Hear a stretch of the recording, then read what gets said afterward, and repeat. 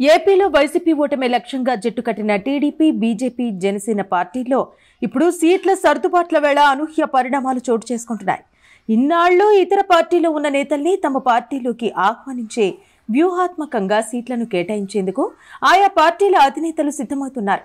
ఈ క్రమంలో ఇప్పుడు టీడీపీ నేతగా ఉన్న వంగవీటి రాధను జనసేనలోకి తెచ్చేందుకు ముమ్మర ప్రయత్నాలు సాగుతున్నాయి. ఇప్పటికే వంగవీటి రాధ నాదెండ్ల మనోహర్తో పాటు ఇతర జనసేన నేతలతో భేటీ అయ్యారు. ఆయన ఈసారి ఎలాగైనా జనసేన నుంచి పోటీ చేసేందుకు రంగం సిద్ధం చేసుకుంటున్నారన్న ప్రచారం సాగుతోంది. ఈ క్రమంలో జనసేన పార్టీ వైపు నుంచి కూడా రాధ కోసం ఓ రెండు సీట్లను పరిశీలిస్తున్నట్టు తెలుస్తోంది. ఆయన కోసం మచిలీపట్నం లోక్సభ సీటుతో పాటు దీని పరిధిలోకి వచ్చే అవనిగడ్డ అసెంబ్లీ సీటును కూడా ఆ పార్టీ పరిశీలిస్తోంది.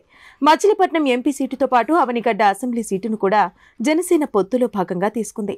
ఈ నేపథ్యంలో ఈ రెండు సీట్లలో ఒకటి రాధాకి ఇవ్వాలని ఆ పార్టీ భావిస్తోంది.